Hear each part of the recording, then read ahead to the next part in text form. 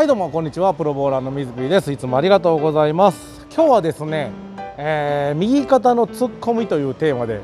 えー、まあ、僕自身のウィークポイントをさらけ出すようでちょっと抵抗があるんですけど、えー、一つやってみたいことがあるので、え皆さんにお伝えしたいと思いますので、え見ていただきたいと思います。えっ、とねサイドローテーションを入れるために皆さん手をしっかり返して握手するようにっていうのを基本をね学んだことはあると思うんですけども回したいのにですね、えー、僕の悪いところでもあります。トップスイングからリリースへ来た時に手よりも先に肩が先行してしまうんですね。で肩が先行してしまってサイドターンしてしまうのにまっすぐしたいもんやから手をまっすぐしてしまってボールがひねった回転にならない。っていう人が結構いてます。僕のレッスンの生徒さんにもやっぱ多いのでよく注意するんですけどもその時にね肩を注意しようとしてもやっぱり肩っていうのは動いてしまうものなので振ってるのでね。だから、えー、反対の手ですね。左手を使ってですねしっかりブロックして壁を作ってスイングをするという練習をね少しやってみたいと思いますのでそのコツがねお披露目できたらいいかなと思いますので、えー、最後までご視聴よろしくお願いいたします。それではご覧ください。どうぞ。はいそれではですねまず、えー、ちょっと軽く前行って転がしてみたいと思います。ねえーと、しっかりとね要は横回転がひねりが入った状態っていうとですね、えー、こう手手のひらは回ってますけどスイングはもちろんまっすぐですよね狙ってる方に向かってこうまっすぐ振りながら手が返ってくるっていう状態になると思うんですけどちょっとすっぽ抜けましたね今ね。はい、でひねるともちろんスピンが効いてえー、直進している方向と回転する方向は、まあ、ちぐはぐになって普通ということですね。狙った方にまっすぐまっすぐ回転してしまうとボールっていうのは曲がらないんでね。前まで行ってしっかりと拾いながらターンと。するとボールっていうのは中に重りが入ってますし摩擦があるものなので奥でしっかり曲がる。もちろんね手前の方にはオイルがあるので、えー、回転しながらもボールは進んでいって先で変化が生じるということはまあ皆さんボーリングをされてる方はご存知だと思います。ね。その時にですねスイング。しながら手を返すわけなんですがトップからですねボールを下ろす前に肩が先行してしまうと手が一緒に帰ってきてしまいます。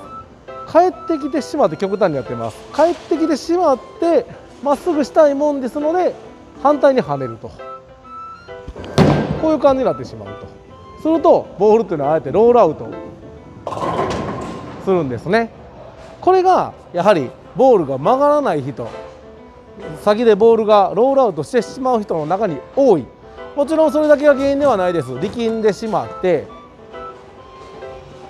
ターンする前にボールを落とすであるとか手のひら親指がぴょんと跳ねているとかいろんな方いますけど一つの要因の中に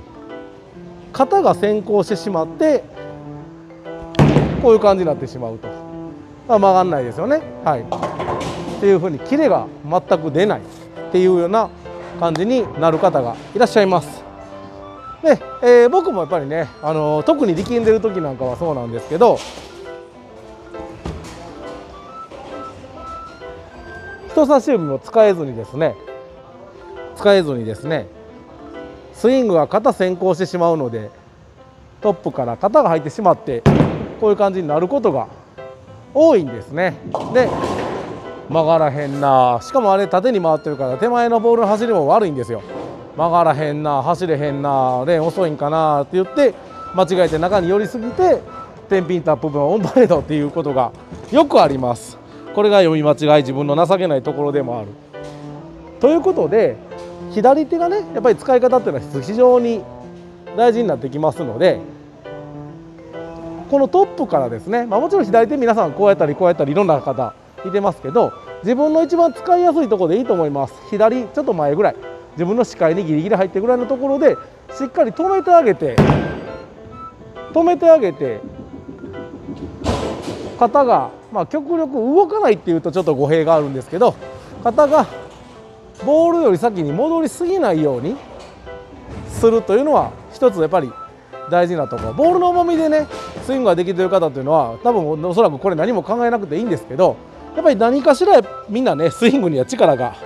入るもんやと思ってます。抜きなさいって言ってもできないと思います。ですのでその力の入り具合をね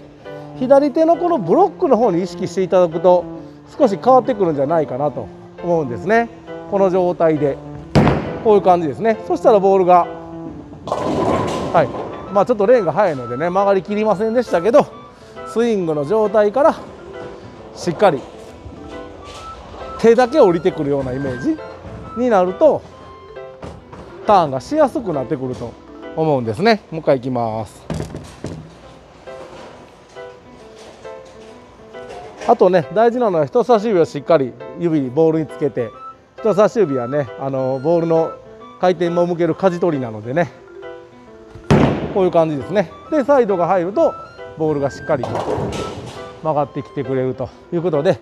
この左手っていうのはね皆さんいろんな個性があると思います。あの超トッププロ前にこう言ってる人もいますし、ね、ここ韓国の強いすごいプロはこんななってる人もいますけど左手のバランスっていうのはやっぱりね誰もが必ず大事に使っているところなので力の入れ具合ですね。右手の力を抜けっていうレッスンをすると思うんですされると思うんですけど右手の力を抜くためには左手に意識を持った方が絶対いいんですよね。右手の力抜けって言われたら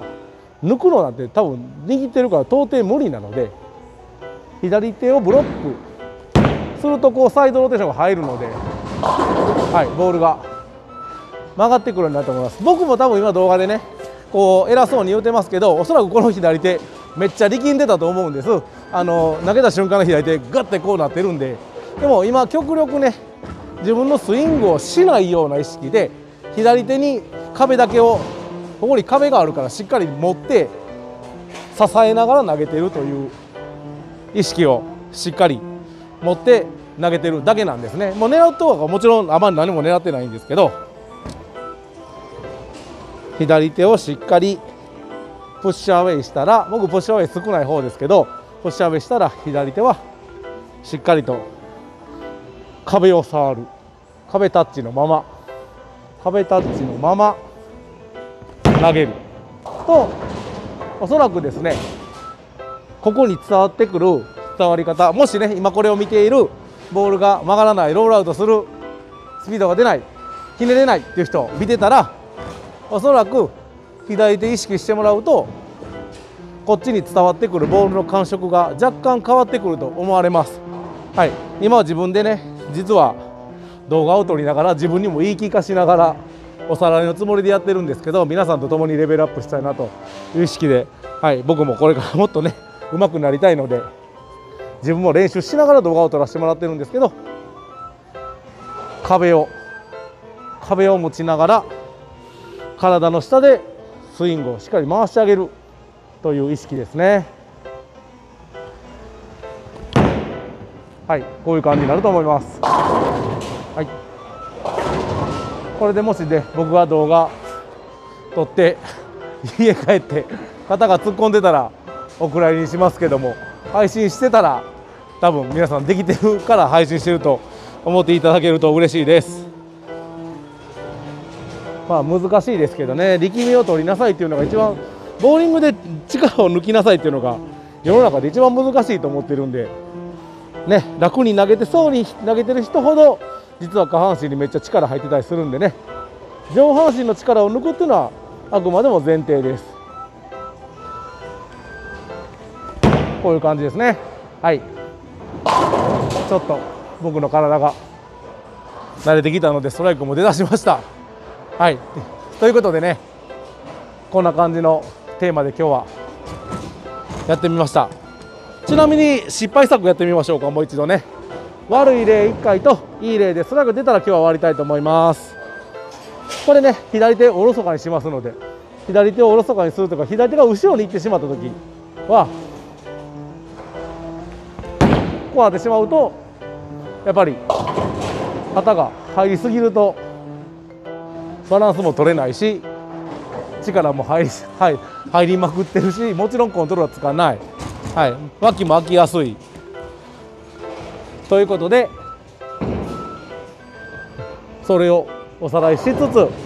最後しっかり投げて終わりたいと思います。って言うたら緊張するんですけどそこはプロ頑張りましょう。